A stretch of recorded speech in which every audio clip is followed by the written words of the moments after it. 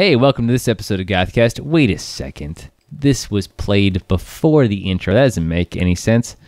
Anyway, I just want to let you know that this episode was actually recorded pre 2020, and then a whole bunch of stuff happened, and now it's being released at this particular time.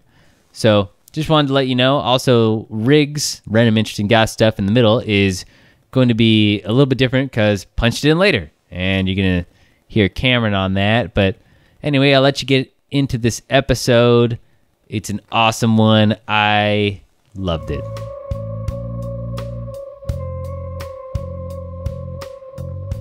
Welcome to Gothcast, episode 56.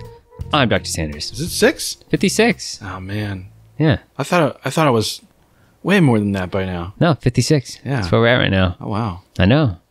It's happening. We'll get there. We'll get to 100 soon. Yeah, we gotta do something crazy for episode 100. I know. We got to do something crazy for episode 60, 70, 55, 33. Anyway, 27, 14. 27. There we go. Right there. There's a football joke for Well- anybody who understands those. When we hit episode 1000 next year. Right. Yeah. Yeah. About March. yeah. Right? But yeah, that's right. Let's see. What time is it? Oh, okay. Yeah. Yeah. Anyway, today we have kind of part three of an episode that we were talking about. This is going to be the Frankenstein episode. And that is because we, well, the podcast I did with Robbie Gore initially with Dracula, and we reviewed 1930s, 1950s, and the 1990s Dracula. And then me and Bryan did the Mummy episode from, you know, 1930s Mummy, and the Brendan Fraser 1999 Mummy, and then the awful Tom Cruise one. And now we're doing Frankenstein. This is going to be a monstrous episode for you. You can say we cobbled this together with reviews of other movies in some kind of mad way using science. And bubbling liquids. Yes, definitely. Anyway, this is uh this is gonna be the episode on Frankenstein. We're gonna talk about 1931 Frankenstein, and then we're gonna talk about 1957's Curse of Frankenstein, and then we're gonna talk about 1994's. Mary Shelley's Frankenstein. Yeah, she did not direct that, by the way. Yeah. Yeah, Well, I noticed she didn't she didn't write the first she didn't write the book the first one was based on either. Did you know that? what do you mean? Yeah, so in the credits it lists Mrs. Percy B. Shelley. In the in the credits Yeah, uh, of the which must- 1931. yeah, must be a completely different person than Mary Shelley, right? It's gotta be really different. Yeah, it's a different name. I wonder why that is. Yeah, because of sexism. That's. Boom. is that because that thing where they, they credit her husband or something at the time? Yeah, still. Yeah. Wow, 1930s. Wow. Right. That's ridiculous. Anyway, this is going to be three different interpretations of a very amazing book. If you haven't read the actual book Frankenstein, it's awesome. And it's really interesting to see the take on each of these movies. You know, it's the same story because, you know, like when we did The Mummy, what was weird is that it wasn't based on an actual, you know, story. And then all the movies had very similar elements. Right. They just said, well, we own this intellectual property. Let's just remake it using a lot of the same things that we, you know, we'll just reference the old movies. Yeah. But Frankenstein has a book as the basis, and all three of these are very different. And I like them each, well, I like most of them for their own particular things they excel at, but uh, some of them are a little more frustrating than others. Honestly, it's kind of interesting to see the way they take some things from the books and the names and sometimes switch them around and different things and we're going to see especially with the certain versions maybe they should have left stuff out or it's just it's just really weird because sometimes you get the same story three different directors three different decades and it can be so radically different Yeah.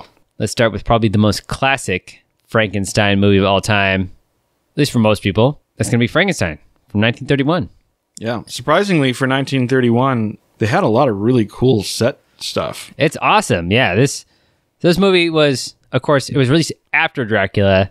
Now, most people, it's really strange because most people will consider Frankenstein to be like the first classic Universal movie, and I'm like, because Dracula came out right, you know, they were getting used to using sound. Most people feel it didn't embrace the medium of film enough, you know, where you could move around the cameras and really play with that sort of stuff. Most people feel like Dracula is a little more of like a stage play that's been filmed. Yeah.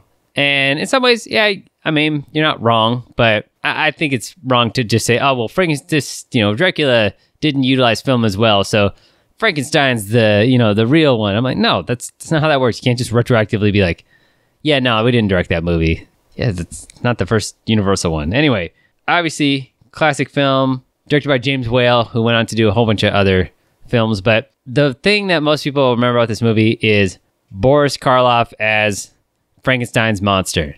Oh, that was Boris Karloff. That is. Really? Mm-hmm. Yeah, I I didn't I didn't pay any attention to any of the characters other than Fritz. For this Oh, movie. it's just Fritz. That's the only. Is Fritz on screen or or talking? I don't care about it. Yeah, if he's not. Yeah. He's pretty amazing. Became the archetype for Igor, obviously. Yeah, that's that's the whole thing. Is the differences in this book, uh, differences between the book and the movie are plentiful in this one.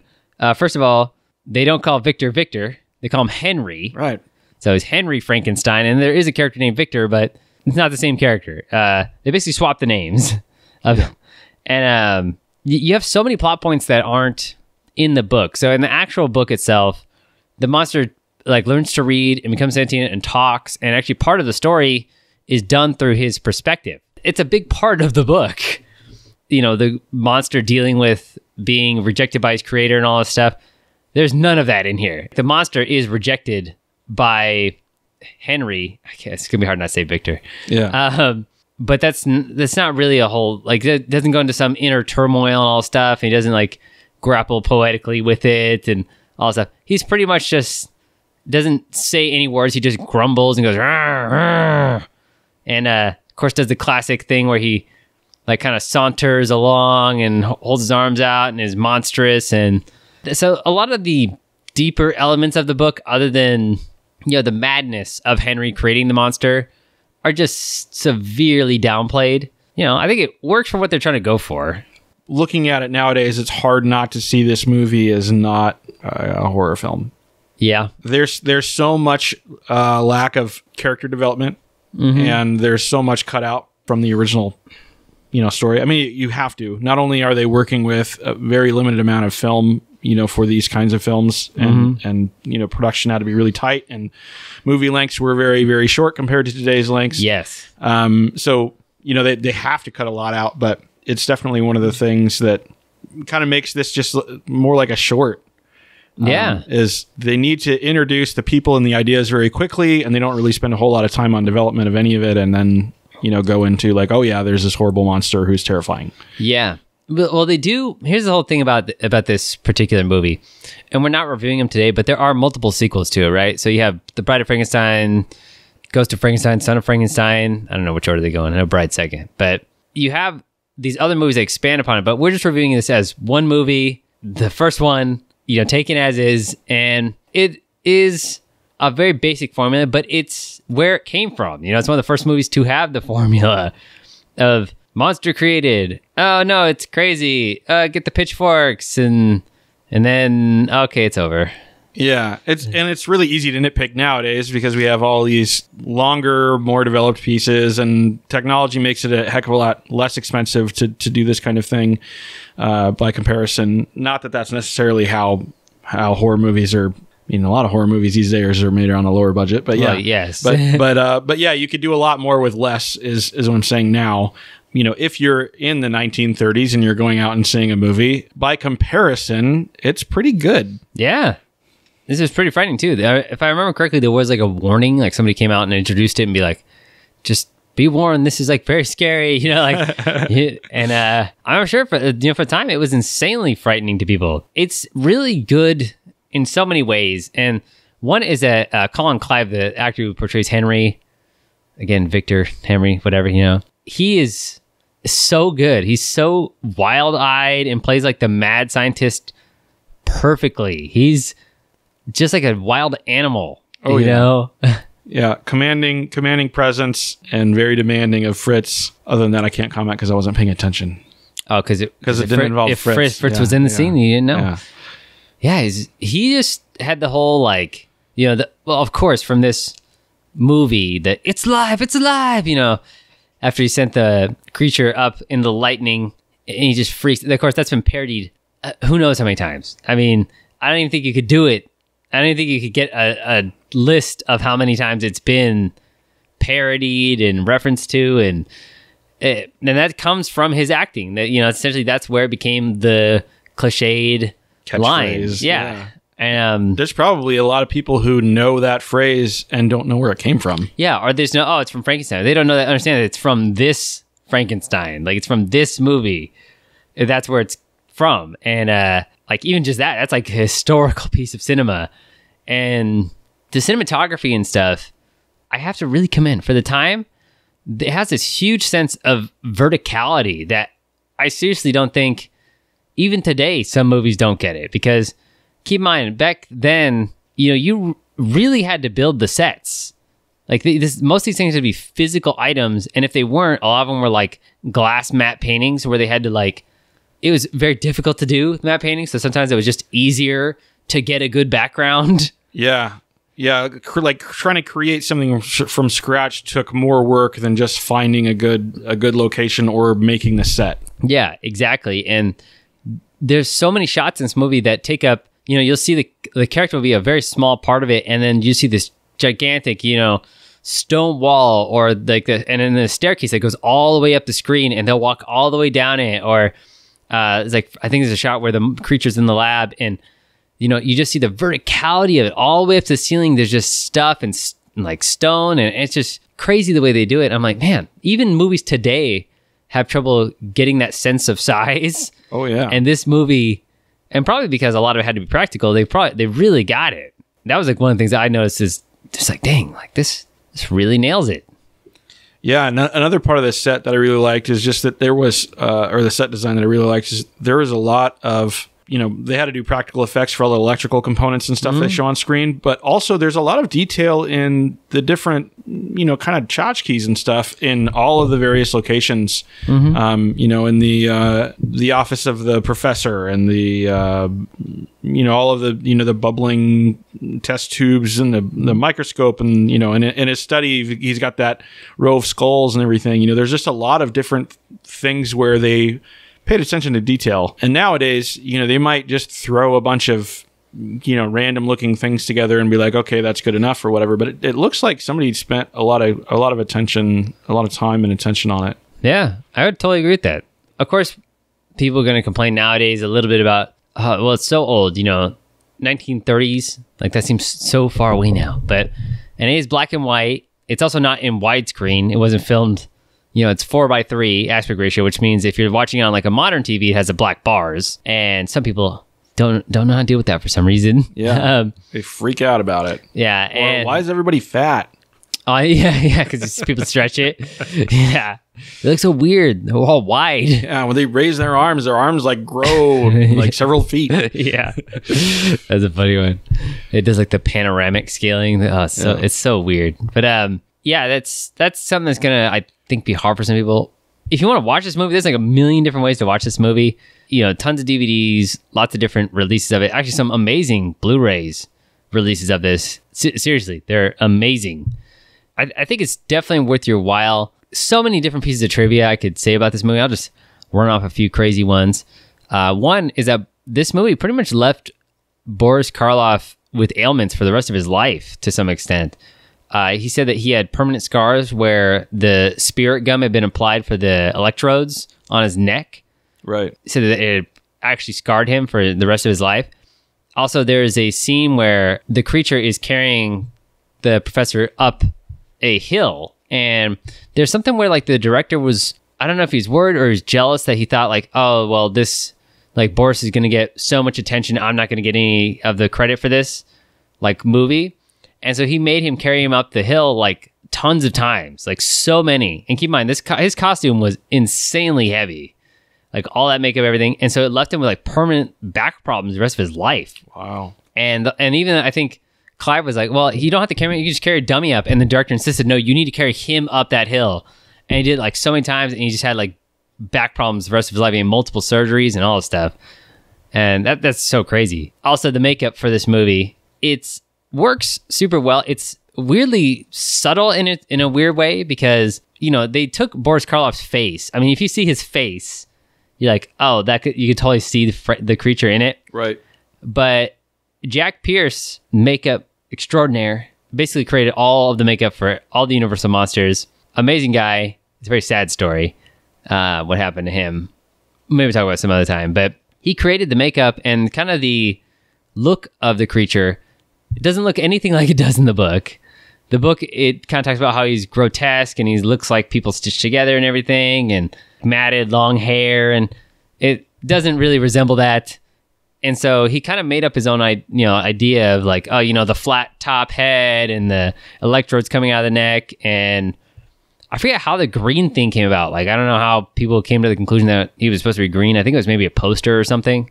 I think there's some story as to how people just assumed he was green. But what's crazy about all this is that the makeup is still copyrighted today. So that's why whenever you see like a Frankenstein movie and they do a creature, it doesn't look like that. Because if they did a green skinned one with electrodes and all this, and the, the, it'd be against the copyright of it. Yeah, the infringement. So Universal owns it, and it's copyrighted still until like 2026. So it's still like from the 1930s till now. That look is still copyrighted, and that's why you get so many um like masks and like Halloween costumes and stuff that are just different enough to not be copyright infringing. Yeah. You know, they have like a big wide like part of the head. They have like a, it's like a cartoony parody look of it, and that's because it's copyrighted. So keep an eye out for our movie that we're releasing in 2027. That's going to be Frankenstein, starring us. Yep. And uh, and we'll be ripping off that intellectual property as hard as we can. We're both gonna be the creature, Right. Both gonna be green, Yeah. both with electrodes. yeah. It's gonna be the whole thing. We're going to bring each other to life. That's it. Yeah. It's called My Two Frankenstein's. Right. Yeah. Pretty good. Two Frankensteins and a baby. There we go, right Yeah. there. Yeah. That'll be the sequel. And let's Right. call him Victor. Victor Henry Frankenstein. Where is the diaper bag? Uh, yeah. yep. Yeah. Speaking of crotchety old people, us. Yeah. Yeah. Uh, did you did you notice that uh, I know what you meant by that. the uh, the old man Baron uh, got frustrated by the door technology, uh, locking doors. He was very frustrated by by door locks. oh yeah. What's with all this nonsense of locked Locking doors? or doors. Yeah. yeah. that guy played a very good, like kind of crotchety old Yeah. douchebag. Yeah. Absolutely. I was like, dang, he's he's must have been that way in real life somehow because he plays it well. Oh yeah. No, he must have done a good job because I actually paid attention to him even when Fritz wasn't on the screen. Oh my goodness. Yeah. Another famous fact about this movie: Bela Lugosi turned down the role. Uh, why? Why is that? So apparently, there's this whole thing, and I, and I I know there's been so much like uh, speculation of this over the years, and some of it's been confirmed, some of it's hearsay from people. But the story as I as I have heard it is that uh, he had done Dracula, and you know Dracula's makeup is just subtle, you know, stage makeup essentially. I thought Dracula was thirty-two. Dracula's 31. I thought Frankenstein was thirty-one. They're both 31. Oh. I was saying the whole thing like where people consider that one the first one. oh, that's right. But yeah, so he had done Dracula and was like, "Well, I don't want to do a role where my face is covered. I don't want to be makeup all day. I don't want to do all this stuff. You know, like I want to be famous for being this." And so, you know, passed on it. And then Boris Karloff got it. And then, of course, Boris Karloff. Most people would agree that he had a much better career Yeah. as time went on. kind of made him the monster guy for everything for a long time.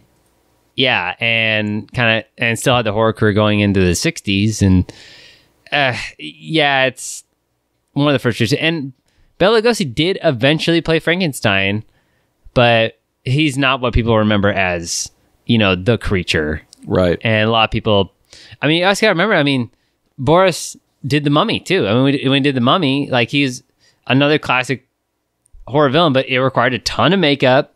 It required all this stuff, and it was painstaking. And he suffered a whole bunch for it. Isn't that the one where he, like did he like break his ankles or something? Like doing that one, and yeah, it was uh, crazy. Uh, there's a whole bunch of things he would put himself through and really do these probably awful roles if you thought about like what it took to make them, but he was willing to do it. And so, uh, yeah, that the Bela Lugosi thing is one that I think frustrated him for a long time. At least that's what the speculation was. I've got some additional speculation for you. Yeah. Uh, the, the town, the town that uh, uh, Baron Frankenstein lives in, it must be pretty rich. yeah. Well, because uh, Henry Frankenstein was doing his experiments in the windmill, right? Yeah. And at the end of the movie, they light a windmill on fire, but Yeah. it's a different windmill.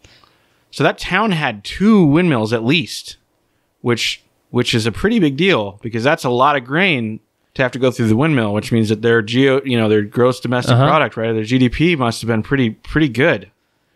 My gosh. Probably a probably a big big big grain exporter that village. Yeah. Yeah, that or I think one was a model. Maybe. Yeah. Huh. Honk honk. That's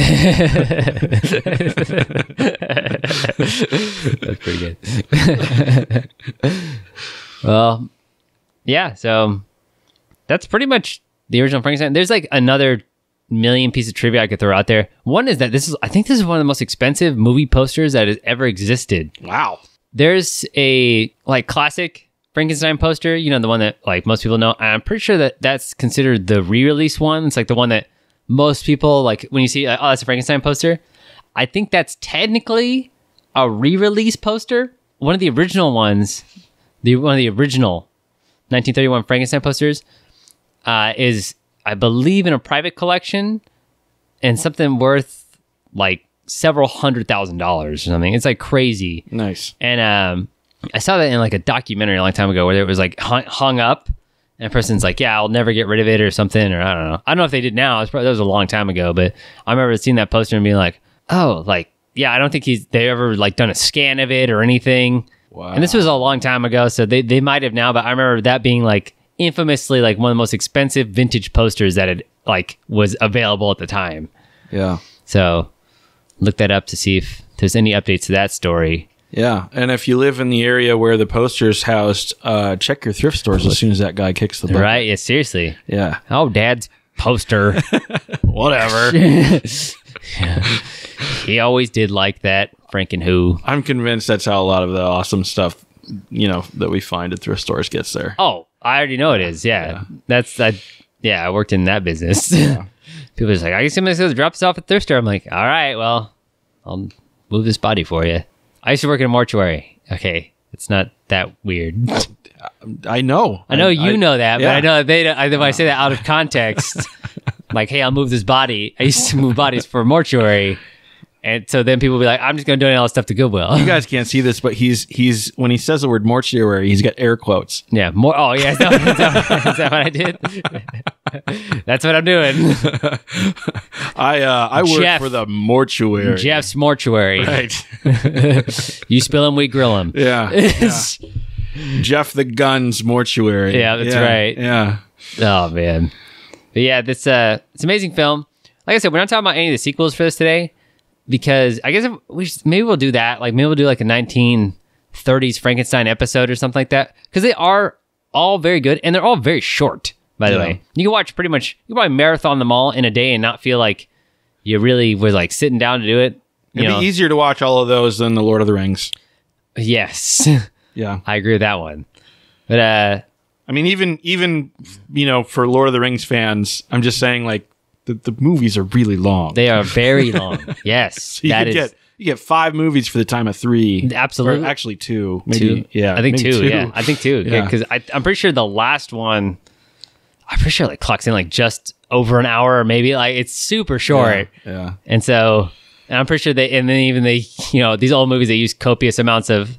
Remember this happened because they couldn't go back and watch the old movie. Right. So like, there's like stuff that recaps it. It's like you know, just fast forward that, and then yeah. But uh, yeah, Frankenstein, 1931, amazing. Yeah, watch it. Pay attention to Fritz. He's got really, really good lines. Oh, and as far as I know, at this point, as far as I know, at this point, it has not been colorized. So, so I throw that out there. Okay. Oh, you know what? I, I wanted to say one last thing about Frankenstein Say whatever you want. 1931. Yeah. Yeah. Uh, if anybody has any interest, I, I think I want to redub this movie um, with sound effects, Oh, some additional sound effects um, to make it into a comedy horror for, for today's day and age. yeah. Uh, right. And so then you can have like, you know, the, the running away sounding effect, you know, the, oh man, I'm not going to do it. You know, like when, yeah, yeah. like uh, when he throws the, throws the, uh, you know, kid in the water Yeah. and then he, and then he kind of like runs away Keystone Cops style. Like the paper puppet. Yeah. yeah. um, yeah. Anyway. If you did inside 1974 and you also include the other movies, you have Young Frankenstein. Oh my gosh, it's so much work. By the way, if just in case you're wondering, like if you like Young Frankenstein, Young Frankenstein is just a parody of this series of Frankenstein movies. Yeah. It's all just jokes on the basis of the of these movies. Right. So just thought I'd throw that out there. But like I said, we're not reviewing those today. So anyway, that's Frankenstein, 1931.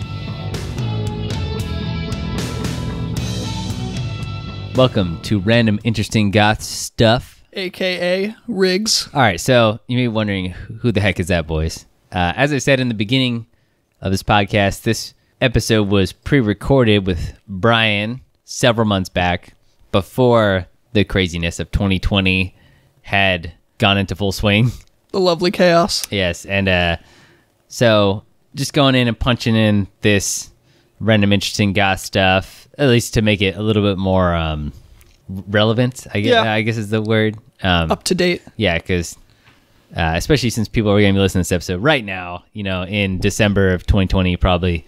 I mean, people listen to the episodes I know much later as well, but But primarily, but I thought that you know if you're listening to this right now, to know it's a little more relevant. There we you can talk about some of the stuff that took me a little while to get done. That was kind of the, uh, I guess, the reason, one of the main reasons why th- there was such a big gap is in the time that we recorded the episode. Obviously, there's a worldwide pandemic thing going on. When it was quarantine, nobody could really talk to each other. And Gothcast has always been recorded. There's never been a single episode of Gothcast that's been recorded over Skype or Zoom, or it's always been recorded two people in a room sitting right next to each well, that's other. when you get the best response, you know? Yeah. So I, that was one of the reasons where it's like, well, you know, me and Bryan couldn't actually be in a room together if we wanted to Right. quarantine and anything like that. So um, yeah, and so I was like, oh, well, I need to do something that's probably a little that's like really productive. So finished an album in that time period uh, from about January to say June or something like that. I want to say it was June, July, something like that. So that's that's Cameron is the drummer in Hi. my band. Um, so the the making the album is pretty complicated in a lot of ways. It is out now. It's called Patch Overlap. Dr. Sanders Patch Overlap. The band is called Dr. Sanders. Um, think you of were it. you were called Dr. Sanders. I know that I on the pod, you know, as, am Dr. Sanders, but the band is called Dr. Sanders. It just kind of ended up working out that way. Weird timing on that, but, um, but yeah, think of it like uh like how Rob Zombie has a band, right? You're like you don't think of Rob Zombie doesn't do all the stuff. He doesn't play the Or guitar. Alice Cooper. Alice Cooper, yeah, right. I don't know Marilyn Manson. I know that's There probably sacrilege for this podcast. Oh, but, whatever. But you know what I mean. or Peter Murphy, right? Hey, Peter we go. Murphy's band isn't. Yeah. He's not just Peter Murphy playing all the instruments. So think of it like that, where Dr. Sanders' band is really the core members. It's Cameron, Jacob, me, jamming out. Got a real nice feel. Couldn't do it without him. That's how music works. It's obviously very reliant on everybody, collective. Anyway, start getting all too sappy. uh, the album is out now. You can find it on Bandcamp. Uh, you can find it on Spotify. It's just Dr. Sanders, Dr. Period S A N D E R S. The album's called Patch Overlap. A lot of good songs, in my opinion. Shh, 10, great- 10 great- hits. 10 That's- 10 that's full what, That's hits, what I should man. have called it. Just 10 Dead hits. 10 Yeah. hits. no, but it's a really personal record. Um, goes over a lot of the stuff.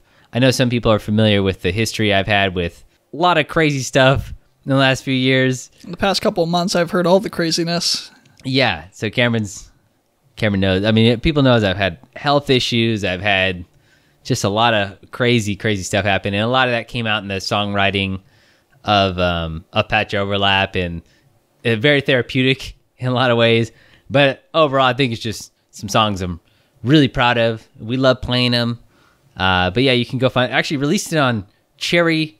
On Red cassette. man. cassette, yeah. Sounds great on my Walkman. Yeah, it's a That's how I practice. translucent cherry red cassette. Totally. Uh, we got some uh, shirts and stuff up there. Stickers, buttons. yeah. So if you ever, and I know people have always been asking, is there going to be Gothcast merch? Is it?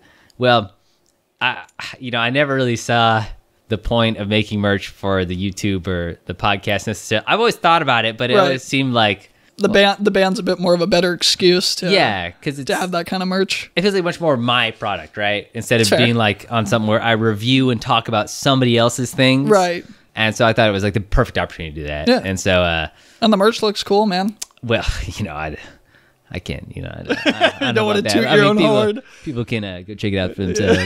uh, but yeah, it's drsanders.bandcamp.com. Again, that is D R S A N D E R S dot B A N D C A M P dot C O M. Yeah, yeah. wow, I can't believe they did that. I know. But yeah, you can check it out there. But like I said, you can stream on Spotify, Apple Music, and, uh, Everything. Probably a million other places I've never even used. I think you can find it on Tidal. I don't that- even know what that is. I think that's Jay Z's Spotify or something. Wait, really? I think so. I have no clue. I think so. I'm out of the loop on that, man. Uh, so I uh, just stick to my good old cassette. yeah, the cassette. I tell you, the cassette is that It's gnarly. More people have been like, "That is so awesome!" Than like I. It looks good I too. mean, the artwork's on it nice. It's yeah, just go check it out. Oh, also, if you want to see, I mean, probably most people who listen to podcasts are obviously following YouTube. Like I said, more. I did the anniversary or like the video where I updated everybody on kind of what was going on, talking about the new music, talking about the anniversaries of the podcast. Five years on the podcast. congratulations. It's crazy. Five years on YouTube. Uh, yeah, I'm always working on stuff. There's definitely no shortage of things I am working on with You're a, video. bit of, you're a bit of a workaholic as I'm a I've total come to know you. workaholic. I'm a total workaholic.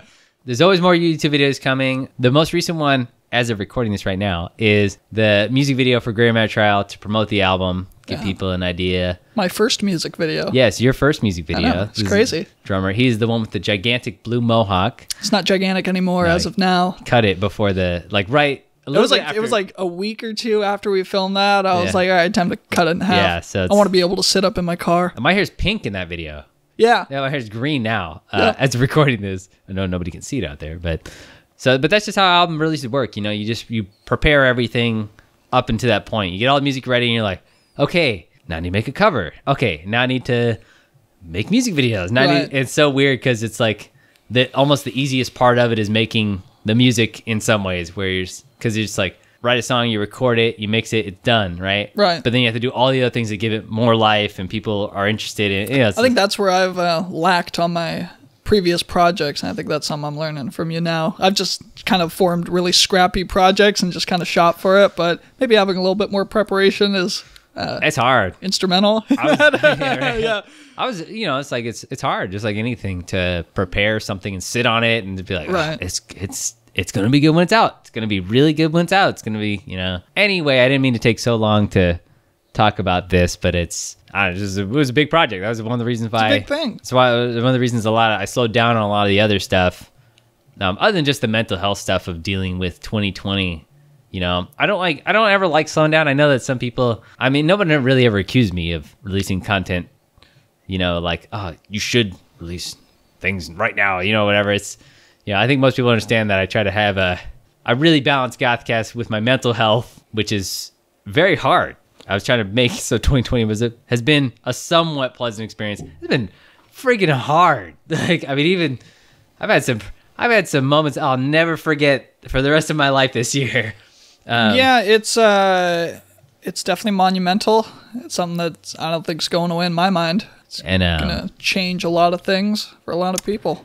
Yeah. So I just uh, anyway, uh, the album's out, and so I thought I would uh, talk about some of the stuff that's happened. I guess recently, or somewhat recently. I guess this whole year feels like it's gone both super fast and super slow. Uh, let's talk about some stuff. So obviously, one of the main things is for a lot of bands, we've had tours be canceled, right? So we've Yay! had tons of tours be canceled. We had No music. we had, um, I believe the the Peter Murphy Bauhaus reunion stuff. I think that all those got pushed back. Uh, I don't even know what they're going to be now. Um, we had the Mission canceling their tours. Um, I know Corpus Delicti was going to do some stuff. No idea. I mean, Yeah. what's cool is they're staying active through like Facebook and all, all the social media stuff. Okay. Um, also, like uh, Peter Hook and the Light. That was something that's really cool. You know, he's awesome. I'm reading his book right now, by the way. Very nice. Um, his last book, the Joy Division book, got my one of my top five books of the year. Uh, you last- just read me the the rules of being in a band. yeah, yeah. Oh, it's really funny. I think we've broken a couple of those we rules. already did. Yeah. don't be in friends. Don't be friends in your band. um, but yeah, the uh, all that got canceled, and luckily, like he's one of those people who's been staying really active through YouTube and stuff, and doing like a lot of that stuff on there, and it's awesome. And that, that's one of the things that's been really cool about the whole 2020 thing is it's given a lot of people time to relax, and maybe focus on doing more of the fan interaction stuff. Right. Not worried about doing other stuff. You can actually sit down, talk with people, and especially now that we live in such a digital age, we can reach anyone at any time, Yeah. at any minute.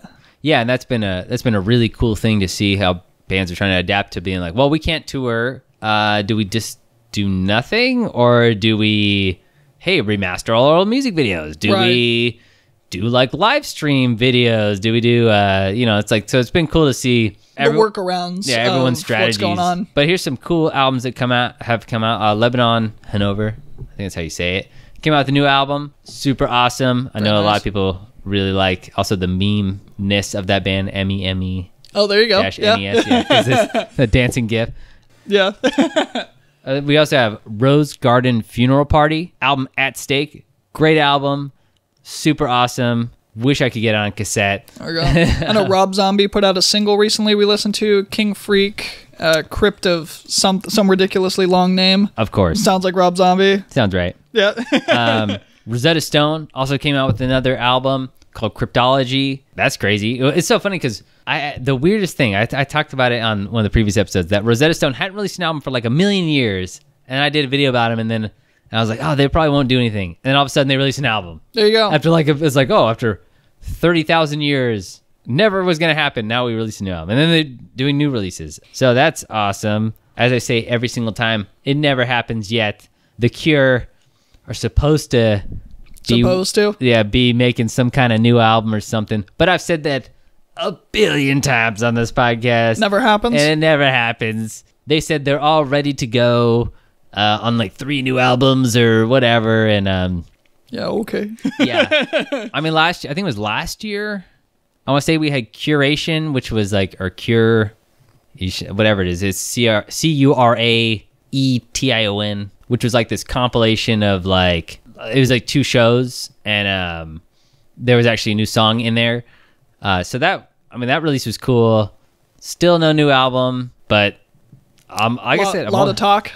There's always a, well the cure is pre- it's pretty infamous at this point of saying like you know uh, god i want to say it's i don't even know what years i've said it but like they would say oh it's definitely coming out. Oh it's Totally. definitely coming out.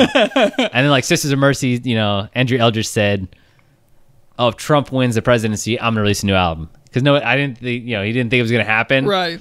and then it did happen and then we still have no new album. Basically my, my point in this is check out those new albums a lot of them are awesome it's cool that like a lot of bands are becoming more active in this time and a lot of them are doing really cool stuff because there's no real thing you can do to distract you from either interacting with fans or kind of just to stay active they make There's no, videos There's no excuse now. yeah exactly No excuse at all. yeah, it's not like oh we couldn't record music because we were too busy touring, or you know we couldn't make videos because we're touring. Yeah, It- try it- using that excuse. Yeah, exactly. now the biggest excuse people have is, hey, I don't, want you know, we don't want to get sick, we don't want to interact with each other. Right. But then so many bands are like, you can make music without being in a room, exactly. you know, and so um, especially if you use like a drum machine, like Oh, you know, you if that's your band's thing. Well, there goes my job. Oh, Yep. Don't worry.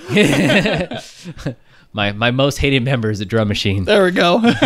They listen too well. um, anyway, that's a random interesting goth stuff. I didn't want this to go on for too long, but I thought I would just insert this one here so there's a little bit more of an updated, more modern one. So uh, let's get back to Frankenstein. Frankenstein. Take it away, Bryan. And me? Not me. Not you. Not me. No. No. Goodbye, Cameron. See ya.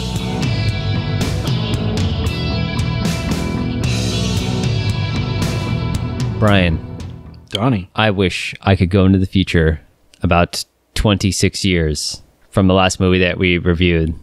And I wish they would do another version of Frankenstein. Oh, uh, like maybe a version where there's a, uh some sort of magic or something involved. Uh, that's what it would look like on screen if you're seeing the weird contraptions they have. Yeah. Well, I meant like like somebody somebody there's a, like a hex or something, or or a repeating theme that keeps coming back to haunt people. Yes, that would be interesting. Yeah. Uh, well, you're in luck. And can you shoot it in Eastman color? I, I, you know, uh, I think I think we could do that. And can you also star two people who ended up being inside of Star Wars later? Uh, no promises. Okay, all right. Probably one from like the '70s one, and then one from like the 2000s one. Okay. Yeah. Then we, I think we could do that. Oh, what? Yeah. Oh my do that goodness, Yeah. that's crazy. Yeah. Anyway, this is The Curse of Frankenstein, released in 1957. One of my favorite movies of all time. definitely. I mean, might be my number one favorite horror movie. Uh, probably Evil Dead Two is probably number one, but this is very close. Amazing, amazing movie. Uh, spoilers right there. Stars Christopher Lee, Peter Cushing, Hazel Court, also pretty much everybody else who was a horror actor for became you know horror actor for Hammer. Awesome, awesome film. This was what many consider to be the first color horror film, and you'll see that everywhere. Was it actually? I don't know, maybe, but it was the most famous one. That's for sure. And super strange way it came about. You know, they wanted to this horror movie, and I don't think anybody really had any faith in it because by this point, especially with the 40s, there was a decline in horror movies really badly. And with the invention of television, you have more of a resurgence because you could play them on TV. And it was like, oh, that's interesting. And they were like, well, hey, let's bring back this Frankenstein concept. And Hammer Studios, Hammer Horror, classic Hammer Horrors, they did tons. They did Dracula, a uh, Dracula series, a Frankenstein series, and Mummy series. Also, a ton of other things. Gorgon's pretty good too. They were like, well, we want to do this Frankenstein film. And Universal threatened them with lawsuits saying, okay, you can't copy us. You know, this makeup's under copyright. Like if you try to copy our film, it's gonna we're gonna sue you. You know, because we didn't like we didn't do a straight adaptation of the book. So if you take our elements, then we're gonna sue you. And say like, okay, well, uh, uh there is why they didn't do the straight ad- adaptation of the book. Yeah, and right. and so they did. They did like they took it and they were like, well, we need to take some more elements from the book so we're like closer to it and, and, we're farther away from the universal thing so we can't because they were i think they were planning on doing something a little bit closer to the universal one. Right. They're like okay we got to do more of the book stuff. And so what they did is they rewrote it to be close to the book. Obviously they we finally have victor frankenstein right. uh, played by P- peter cushing. By the way if you remember very soon after this peter cushing was van helsing. So it's really strange in this movie you have the creature is christopher lee and you know he plays a very good creature yeah. Um, and then a year later, he'd be playing uh, Count Dracula. and so it's, it's just so funny because then you have Christopher Lee kind of leaving the Frankenstein franchise and then he just became Dracula. And then there's a whole series of these movies. There's like, I think five or six. I can't, I always have trouble remembering how many there are with Peter Cushing and he's in like all of them. And so it's very interesting to see the change in that I think both of them, I think Peter Cushing was much happier being Victor Frankenstein than Christopher Lee was being Dracula. Hmm. they kind of take a lot more of the elements from the book and put it into this film, and you have a lot more of the the kind of friendship stuffs between like Victor and Paul and that sort of thing, and you very much feel that Victor's I don't know, it's you just get so much so many more sides of him. And by the way, in this movie, he's a total jerk. Yeah, he's horrible. He's absolutely awful. Yeah, yeah, and that's one of the, the first things you learn about him. Yeah, yeah. When he's a kid? Yeah, when he's a kid, he's yeah. he's kind of a jerk. He's kind of yeah, he's he's very direct.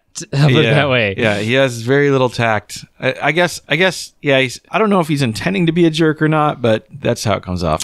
Yeah. Paul comes and he's like, "Hey, you know, like he thinks that an adult had called him to be Victor's tutor." And so when he shows up, it's like the kid Victor is like, "No, I'm the one who's hiring you. Like like I am the the man of the the manor, you know. Yeah. Like I am the head of my household at this point, and so because it was just a passing in the family, he's like, no, I want you to teach me, and so he's like, okay, like I'll still pay you the whatever. And he's like, all right. all right, sure, I guess. And so him and Paul become great friends. They kind of, you know, they play off one another. But then as they get older, uh, Victor is really wanting to push this whole like bringing back life. Like, can you cheat death and bring back like a dog? They uh, just do a lot of really crazy stuff and it's all very interesting too. It's the lab is very very 50s yeah. there's like lots of lots of good practical effects there too yeah. but very dated. Yeah. I mean it's really c- cool and they took advantage i gotta say they really took advantage of color. So eastman color by today's standards and this is coming from somebody who spent a lot of time with film eastman color it was uh, i believe at the time it was one of the more, more popular one strip techniques for it where they would condense the colors down. Right. Like without having to do like the three strip Technicolor, you have to develop it like essentially three times and combine it and do the key color and all that stuff. This is like one of the, the processes where you get like, you basically shoot it and develop it and you would get color. And it was not the greatest in my opinion. It, it had the um, the kind of issue you have where a lot of in between tones get lost. You basically have like greens and reds for a lot of this movie, and that's okay. It reminds me of some of the older, less well taken care of episodes of Gilligan uh, Gilligan's Island. Oh, where they're like, Color wise, I mean, like- yeah, where it's just like lacking in some, yeah, like, or, or some colors are completely gone. It seems like, yeah, like it seems like yellows and stuff never really worked that well with that particular technique. yeah, Uh, it just seems like you have a lot of um, kind of you have a lot of browns, greens, and reds. That's kind of what I always feel like is for those kind of techniques for back then. You get a lot of those, and while the the restoration stuff that we have today are really good, you know, we watched in HD, the um, the version we watched, it looks pretty good compared to the one I used to watch, but sure. it's still probably not uh, as good as it would have been if they had done like maybe some kind of Technicolor process or something where it was a little more separated. But it probably wouldn't have got made if they had done that. Right. well, and at the same time, too, you know, the, the Technicolor is almost always going to look better because your the the aging process of the film is much slower. Yeah, and also you just separate it easily, and it's Yeah. just all all this stuff. You know, you just you have a better chance with it. But I still think it looks really good, and for being the first color horror movie, I think it like you know with the preservation of it uh, the way it is so far, I think that's I'm like oof, they, they got it down. Yeah. I would say the sound always, no matter what version I watch, the sound always is kind of tinny or scratchy. But again, that's probably just because they weren't using super hi-fi. It wasn't like Stanley Kubrick or something Yeah, being like using great fifteen dollar microphones like us. Exactly. That's Yeah. it. Boy, that's the truth. But all things considered, this I think it's a great restoration. This has just come from like a film nerdy perspective. The movie itself is amazing, and that I s- just mostly comes from Peter Cushing being so so much fun to hate. he is such a jerk. Partway through the movie, and by the way, this does take more from the book. You know, bringing back like Elizabeth to to a larger degree, and you have a lot of the turmoil with that. It still cuts out almost all of the stuff with the monster being sentient and being able to speak and all that stuff. Really, just has it as more of like a classical monster movie, but it does add in some of those elements of the uh, tragedy of Elizabeth, and it even has some own psychological elements to it that are not really in any other version of it. But it's um, Yeah, I mean, there was uh, some real suspense for me there when I couldn't figure out whether or not he was thinking or planning on using Paul's brain. right. I know. You know, you like you can almost see gears turning in his Yeah. head, and that's hard to achieve as an actor. Yeah. I, I don't know how they didn't get sued, honestly, so in some ways with this. Because, yes, they did change it quite a bit and they did take a lot more from the book. But they also did just add kind of their own stuff a little bit. But uh, there's like a whole thing where Victor is like cheating on Elizabeth with the maid and Right. and like he's and he is so evil. He's she's basically like the maid is like, I'll rat on you. Like you know if you don't if you don't be with me and you're gonna be with her, then I will tell everyone what you're doing. And he just kills her. He Yeah. leads her to the monster and then traps her in there, and then the, the creature kills her. So it's like he is brutal and not in the way that the book portrays him to be brutal. You know, it's not. That, I mean, that doesn't really. I guess it does further his experiments, but not in. I mean, not really. yeah, it's really him just covering his butt. Yeah, exactly. But you have the elements of like the original one where Fritz inside the original one is trying to get a brain and he grabs the wrong brain. He grabs an abnormal brain because Right. he ends up destroying like damaging the other one. And so I think that's what happens, right? Yeah, he knock in. Yeah, knocks, knocks the thing off the desk. Yeah, so Fritz grabs the abnormal brain, and that's the whole thing. Like, you know, like the monster is kind of messed up inside of the first movie, inside 1931.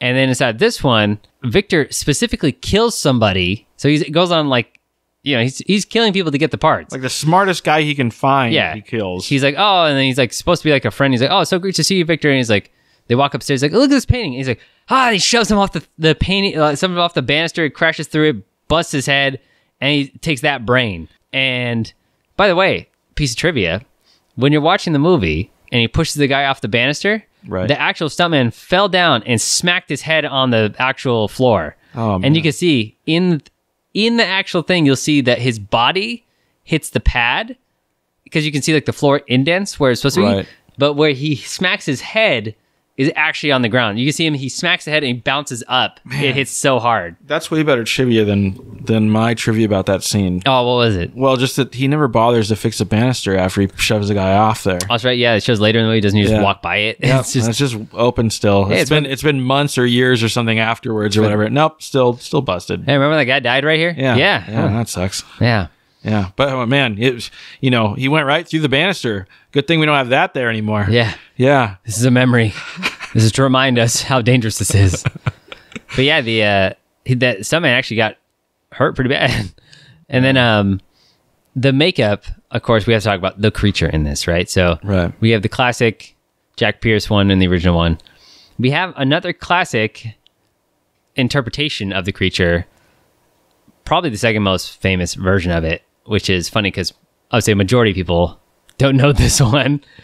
It's Christopher Lee, and because they couldn't use the makeup, they didn't really have an idea because they were really rushed to shoot. So they just kind of like stuck some stuff on his face and were like, okay, that'll work. right. But because the way they did it, they didn't like cast anything. They didn't do a mask. It's not a rubber thing. It's just like the you know like the makeup putty stuff. They had to take a photo and then just do it from scratch every single day that they shot, Rough. And it was not very fun for Christopher Lee. He did go through some some pretty interesting physical stuff as well during this. Not nearly as many as when Christopher Lee was the Mummy. When he was the Mummy, oh my gosh, he got like I think it like snapped both his ankles. He like threw out his back. He got like I mean, there's so, there's so many different things when he did that movie. But on this one, when the creature gets shot, it's like the blood that pours out, Right. and apparently it got into his eye, his actual eye. And so when you hear that scream, it's actually him going ah, you know, like. And then they kept it in the movie, and so uh, Christopher Lee like. I, I got him credit. Even the like, he had the contacts for Dracula where he couldn't see, and it was like burned his eyes and all stuff. Like he they just tortured the crap out of that guy. Yeah. But uh, This is before unions in film. oh yeah, way, way before that. it was funny because the way to get him to do like, there's a whole story of him being, uh, you know, when he was Dracula, and that was really the bread and butter.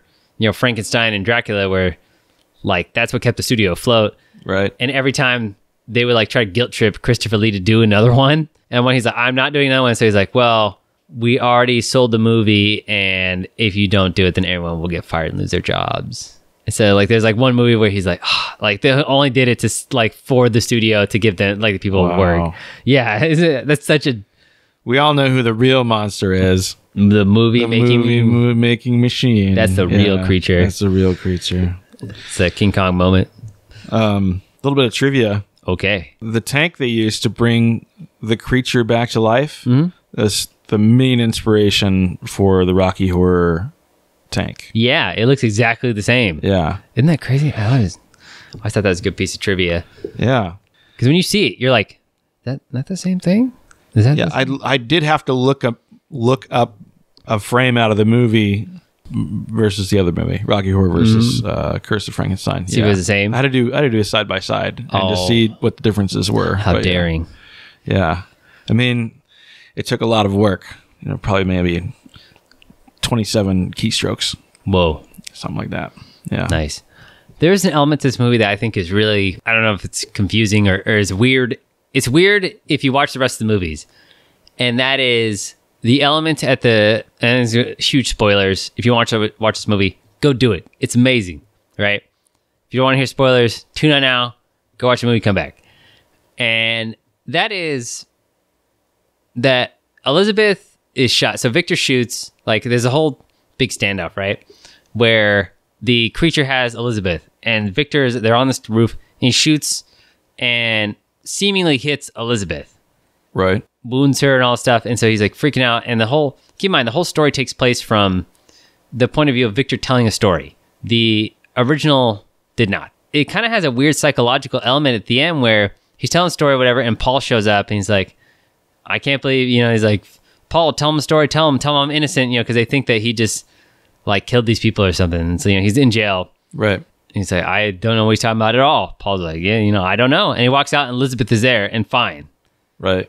And so there's this whole element of like, wait, what happened? And then at the end, the end of the movie, the ending shot of the movie is Victor Right. in the guillotine. That's the end of the movie. That's how the movie ends. And so it's kind of like, wait, what happened? like, it's kind of like one of those things where it tries to play on like that. Wait, did this happen? Did it, you know, because Elizabeth seems unfazed with what happened and if she was shot or I don't know. It's like, it's such a weird ending. But it makes even less sense if you watch the sequels because they kind of don't really even reference any of that. And uh, in spoiler, in the sequel, uh, Frankenstein escapes the guillotine. like, it's uh, for many, many more movies. By the way, the most most ridiculous things about the series. In one movie, he's hiding. He calls himself Doctor Frank. In another movie, he comes off Doctor Stein. Nice. Isn't that great? Yeah. Because nobody will figure that out. No, We got an APB on Frankenstein. Oh, what's your name again? Dr. Frank? Ah, all right. oof. Can't it's Clear. not him. Yeah. Clear. Uh, I'll move along. Let's go Sorry Transylvania. to, sorry to bother you, sir. No problem. Yeah. You gotta Have go. a good day with that big old knife. Whatever you're doing with that. You have a good day with your big brain, big juicy supple brain. Yep, I will. Yeah, it's so it's so weird. It's just a really good movie. I, I love it, and I think it's probably my favorite. Is my favorite in the whole franchise for the Frankenstein franchise. I just think it does it the best. Yeah, it is really, really good. They do a lot of uh, good work with uh, character motivations, and um, I mean, you don't really understand uh, Victor's perspective um, other than just being super obsessed. But as far as character motivation for the rest of them, it's pretty easy to understand. It's they're believable characters. There's a lot of you know development. Uh, the character introduction in general in the beginning is really good. The s- inside sets are really believable and, and Yeah. well done. Even the sound. There's a, a time when they're doing a toast and they're they're clinking glasses and you can hear the the ting of crystal, uh, which is different than the sound of clinking glass. And so even that was on point. All right. Yeah. Dang. Plus, they also lit a guy on fire, and he was really scared. the stunt man at the end when they light him on Yeah, fire yeah. as a creature, is like a quote where he's like, "Yeah, there was like three guys standing around with fire extinguishers." He's like, "I wasn't really too sure about this Oh, whole situation." Put on that asbestos suit. but he lives. so, yeah, that's Frankenstein 1957. We'll probably eventually get over to the, the actual Hammer series of Frankenstein movies because they're so interesting, but uh, there's a lot of them. Yeah. that is Frankenstein 1957. Go watch it. Highly recommended. Bryan, you know, I'm over the 50s. I want to get out of here. Let's get to a time where flannel was the thing, yeah. alternative rock was filling MTV, Yeah. and then people in this decade really didn't like the decade they liked the 70s but people forget that and now they just talk about that time as if everybody liked that time I see. Yeah. let's do 1994 Oh, okay. now if we could have a frankenstein film Oh, I see. I, I was wondering why you chose 94 specifically. i was just random Yeah. it just happens Oh, to be okay. that there was a frankenstein Oh, and that reminded you of the Frankenstein. It reminded me of it, yeah. Got it. All now right. hopefully this one could be directed by the same guy who stars in the main role and then this production gets off the rails and then we would end up with some really weird version of frankenstein Man, you are you are two for two. Donnie, you are so in luck. yeah Yeah. Am you're I? So in luck i am because I've got this movie. It's uh it's Mary, Mary Shelley's Frankenstein. whoa Yeah. Oh my goodness. Now, does this have anything to do with Bram Stoker's Dracula? No. No? No. Well, kind of it does. Well, no, but it but it but It it's re- a it's a completely different book. Well, yes. Yeah. Bram, that is Bram true. Stoker wrote Dracula. Mary Shelley wrote Frankenstein. That is true. well, I think I. This is a very weird version of Frankenstein. Well, how it came into being is very controversial in some ways. So you gotta remember that in the '90s, Bram Stoker's Dracula, the Francis Ford Coppola one with Keanu Reeves, Gary Oldman, Winona Ryder, that was a big movie. That movie did very well, and it was just super popular. Yeah. And so uh, Francis Ford Coppola, like he wanted to do a version of Frankenstein as well. He basically wanted to redo the Universal movies, right? Right. And when he did Dracula, he's like, "Oh, cool! Like now there could there can be a Frankenstein version." But he didn't want to direct it. But he did produce it. So he got Kenneth Branagh to direct this version, and he also, but then also he was going to be starring in it. Okay. Keep in mind, he's a pretty good actor in his own ways. You know, Hamlet is probably the thing he's most famous for. The projects he's been involved in, you know, he's also been Harry Potter. Harry He- Potter. Yeah, Chamber of Secrets, you know. He's done some interesting stuff, but my God, this is not one of the interesting things he should be remembered for. Uh, yeah, he, he shouldn't be remembered for it, but this movie is is very interesting. It is. So in the in the same way that Francis Ford Coppola did Dracula and took a lot of elements from the book, you know, added in a lot of stuff that hadn't been seen in any of the movies. That's what happened with this version. I gotta say, I just I had so many problems with this movie. I will say the creature is played by Robert De Niro. Yes, Robert De Niro, Taxi Driver Robert De Niro, right? Okay. Yeah. Yes, Rob, actual Robert De Niro. Right. At the time, you gotta remember he was like he had burst in, you know, back into the scene with uh, Cape Fear, you know, where he kind of got back into, you know, being limelight and everything, and he was doing lots of really good stuff around this time. I'll talk more about his performance in a minute because I feel like that's gonna be something I want to talk about a lot. Okay. But Francis Coppola saw where it was going and how he was doing with this movie, and he actually like publicly said, you know, like I don't support this movie anymore. Like this is getting way off of what I thought it should be, and it's not anything that's I approve of. There's a, a whole bunch of other behind the scenes stuff. I'll talk more about that in a minute. But uh, What What do you think was the inspiration to bring on John Cleese in a non comedic role? You know, I have no idea. There's so John Cleese, obviously super famous, Monty Python, the, tons of other stuff, right? Right. He is one of uh Victor's. And keep mind, we do get yeah, it's still named Victor Frankenstein. We have Elizabeth. We have you know a lot of the main characters in this. But uh, John Cleese plays one of his teachers and kind of teaches him about you know bringing life back in a weird thing. So he's not not a comedic role at all for John Cleese they put these really weird prosthetics on his face to like make him look less like John Cleese. Yeah. It just it looks weird. Like it looks like he's wearing like something's on his face. I don't know why they brought him back though. It's really strange. I do know that they, they were apprehensive because he's only comedic, but then when they put him in the movie, they don't even let him like emote essentially like what the way he naturally could because they put all the crap on his face. Yeah. Yeah. It's it's a weird choice in both both cases. Well, you do have one of the goth superstars, Helena Bonham Carter. Very young Helena Bonham Carter Yeah.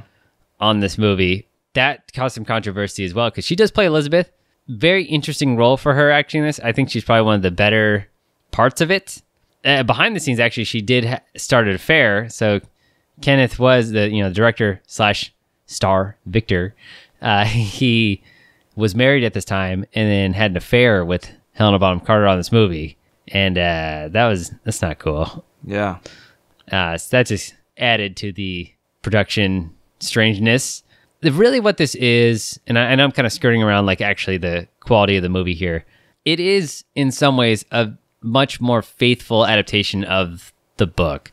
It added it adds in essentially the other part that was taken out, where you actually see it from the monster's perspective, where the monster learns to speak, where a lot of that stuff, even the opening, even the opening Yeah. part of it is pretty much from the book.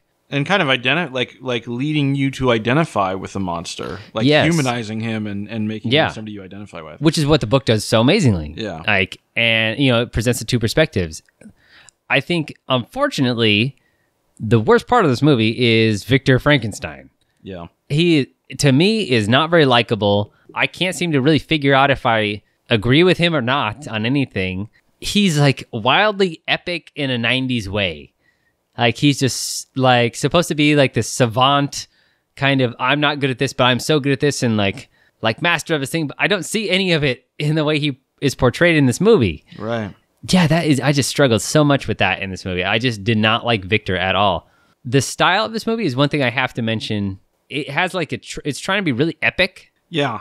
I swore I was watching the wrong movie for the first I don't know, 7 or 8 minutes at least. Yeah, like it's trying to be a big, almost like I don't want to say blockbustery. An adventure movie. Yeah, e- essentially, you have super epic music. You have these shots that are just constantly jerking back and forth, and like the the creation scene, like where he's actually creating the monster. Right. that is like insane. There's this big, giant thing, and he uses electric eels. So one thing that's important to remember is that the book Frankenstein actually doesn't say how he brought the creature to life, right? It doesn't say, oh, he raised up the thing and then the electricity shot him, or whatever.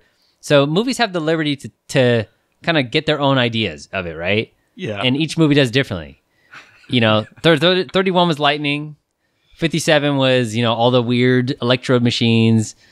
And what was this one do? He builds the creature, Yeah. and it's like using a whole bunch of you know different kinds of body parts. He's huge, big, monstrous creature, very accurate to the book. I would say it is pretty much much closer to that. But he builds himself this big giant coffin thing. And I'm wondering if they're trying to like get steampunk cred for that. Probably It's a little steampunk. It is, yeah. But that's kind of before that a little bit, but Yeah. still, I mean, well, the concept, you know, of the the look. Yeah. Um, look, yeah.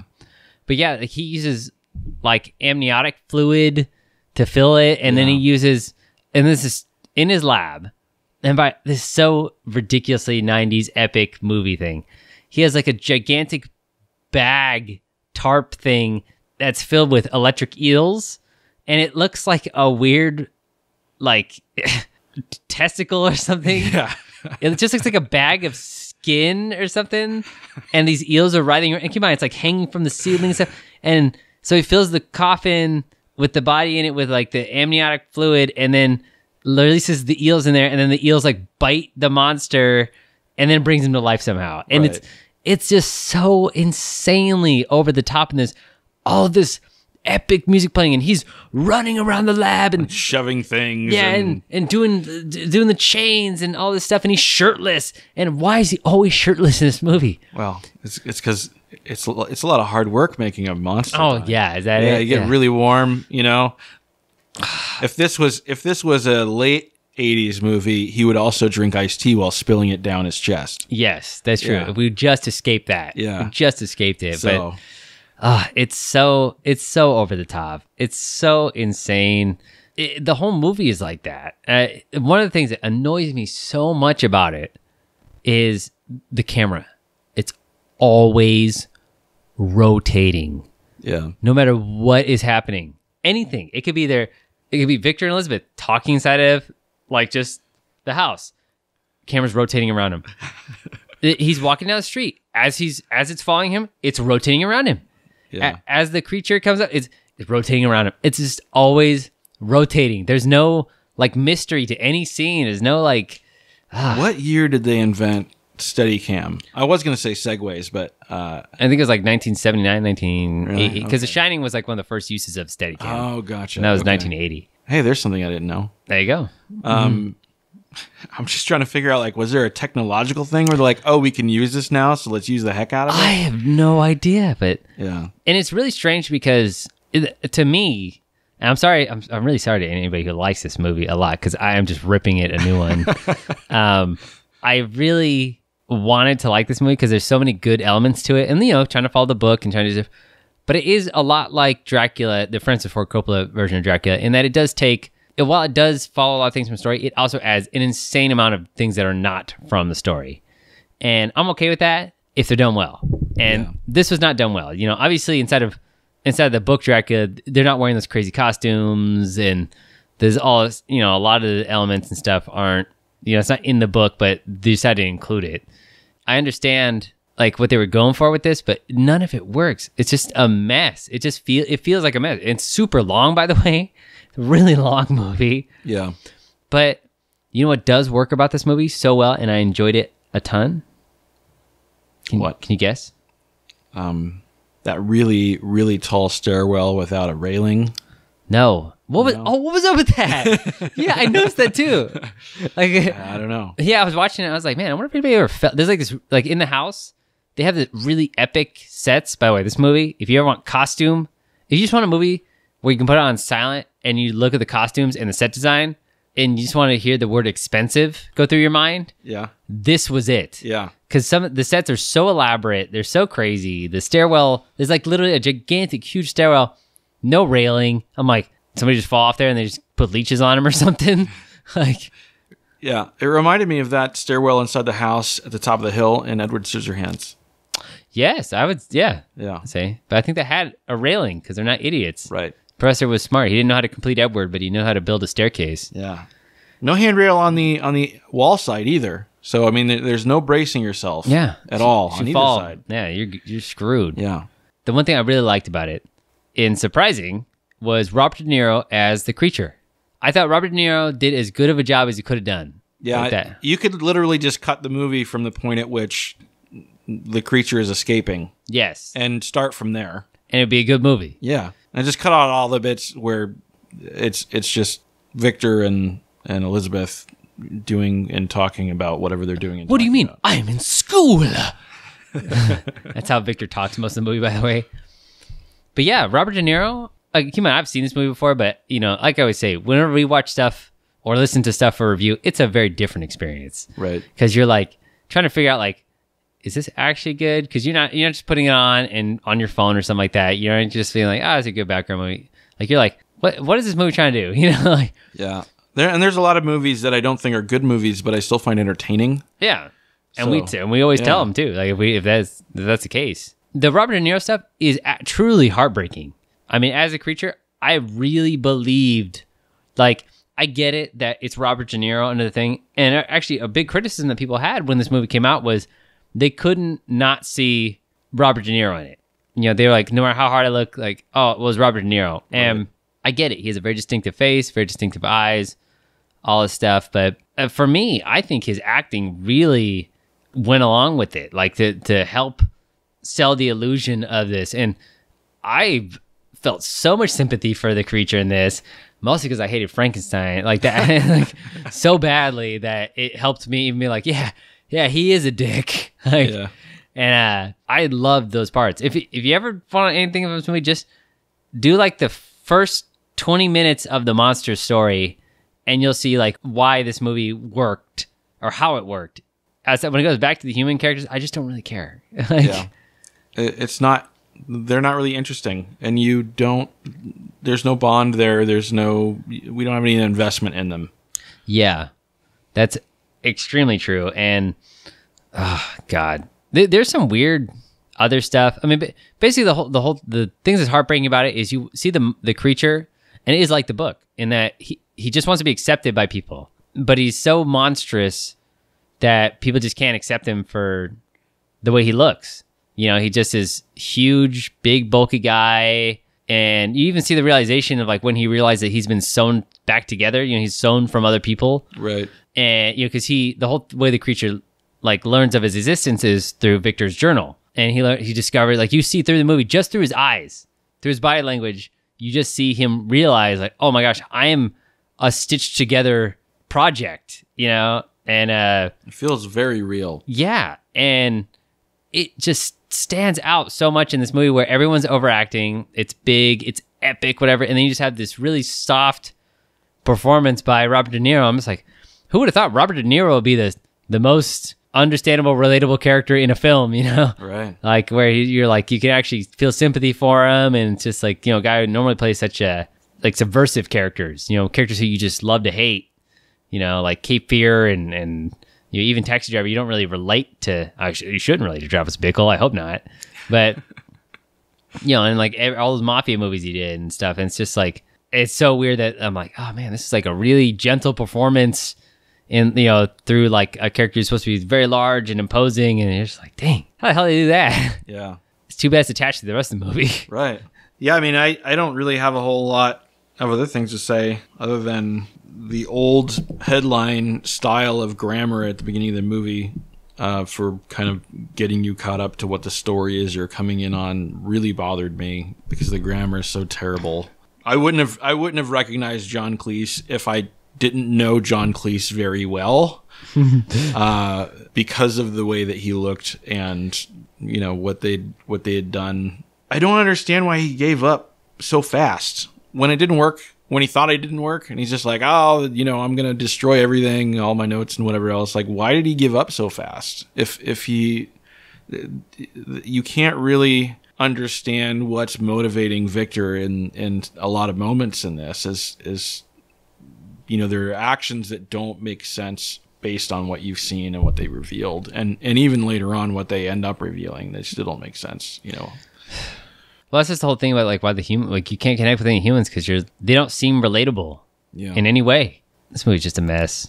It's a mess. Well, just like Dracula, you know, they could have done it so much better. I mean, Francis Ford Coppola like gave Kenneth notes and said, "Hey, you need to cut like this part of the movie. You need to cut this out. You need to do this," and he just wouldn't listen.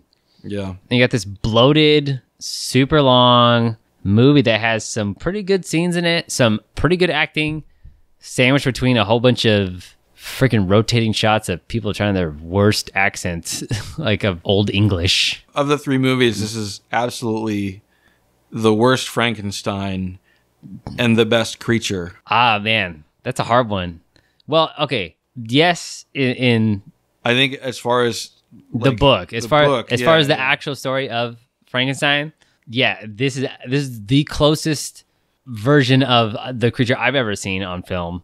And some of it is like, I mean, it's, it's really close, and it's, it is very heartbreaking too. Like, genuinely made me feel, but it's like, it's just so bad. It's so bad. It's like unwatchable at some points. It was making me sick with just the way it's edited. Ah, by the way, there's some spoilers here. I, mean, I guess it's already been spoiled in this episode, but you shouldn't watch this movie. There's there's the spoiler. it's um, so they do include the whole thing of Elizabeth of the creature, ki- like the creature in the book. He demands Victor makes him a bride, right? right. And when he refuses, then he kills Elizabeth and then brings her back. Right. And this is like this is actually like a whole thing, like you know. But the whole thing of bringing Elizabeth back, that's that's super cool that they decided to do that. But this, a first of all, there's a really weird scene where Elizabeth is brought back by Victor. Uh, keep in mind the creature like murdered the hell out of her, like ripped her heart out. And it's like a really weird thing where the monster and Victor are standing next to one another and are like, "Come to me, come to me." No, no, no, Elizabeth, come to me like a dog. right. And it's like, and then she comes to Vic. Is it Victor? She go to Victor, and then it's like, oh, she realizes like she's been like her face is badly burned and all stuff. She's like completely mutilated. Yeah. And- she realizes that she's more like the creature. Yeah, and she like looks at herself in the mirror and is like, oh my gosh! And then she just takes a thing and lights herself on fire with a really bad CG effect, by the way, really terrible effect. Yeah, so it's pretty. It's a very interesting set piece to it, but it's again, it's just executed very poorly. Like the whole scene just feels super awkward. It doesn't feel like that meaningful. I mean, the whole setting yourself on fire, that's pretty brutal. That's pretty crazy. But like the actual, like if you watch the scene, like I think I'm describing it better than the movie does a good job of of filming it because you're just like, but, uh, it's just so awkward. God, it's awful. Just I I don't think I'll ever watch this movie again. I'll probably watch the the Robert De Niro parts because those are awesome. But God, so much of this it could have it could have honestly been like about 40 minutes shorter, and I would have been probably way more satisfied with this film. But it's the fact that it's bloated. It's just a director who didn't know what he was doing, and just even couldn't take criticism. I mean, Francis Ford Coppola, you know, so couldn't even get through to him. So yeah, that's that's Mary Shelley's Frankenstein. Don't watch it. The end for that, that movie. Yeah. It's over. By the way, you can sometimes get in a double pack with Bram Stoker's Dracula. Another tie-in. Yeah, and sometimes I think they include the Mummy one in there too. That was Frankenstein. This was our Frankenstein episode. But disappointing ending. You know what I don't like that he called body parts just raw materials, right? Does that? Yep. Yeah. It's too bad, you know, he ended up losing an arm, a leg, his brother's body. Oh, no, I'm, I'm thinking of Full Metal Alchemist. Oh, is that it? nice. I have a note here, Super Toad, and I'm sure that was really funny when I wrote it down, but I don't know what it. I don't remember what Super it was. Toad. Super Toad. Yeah. Super Toad. They bring a toad back to life? I don't remember. Oh, that's because right because it, it had super strength, right? It shattered the the enclosure it was in, Oh yeah. right? Yeah, That's right. and so they're they're alluding to the fact that the creature will also have super strength, Super Toad. right? So Super Toad, yeah. I like it. Anyway, this has been our Frankenstein episode of Gothcast. I mean, well, there may be other ones in the future if anybody ever wants us to do a series of them, or just we decide to do like oh more Frankenstein. There's so many Frankenstein films, by the way. We could we could be doing them. We could do just episodes on Frankenstein films for a long time, and we would never run out of things because there's so many different interpretations.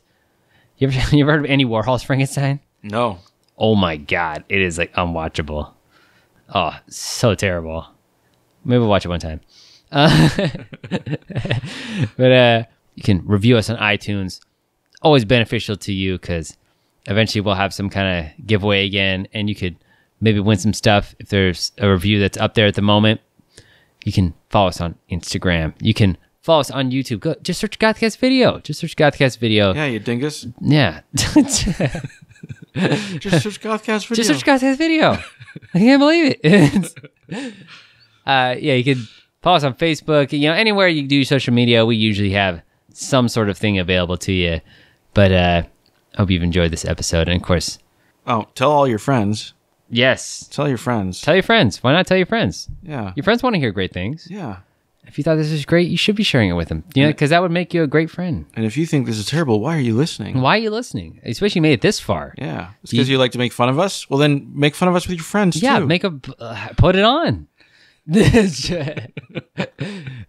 anyway, make sure to uh what's that thing? What's that uh what am I saying? Stay spooky.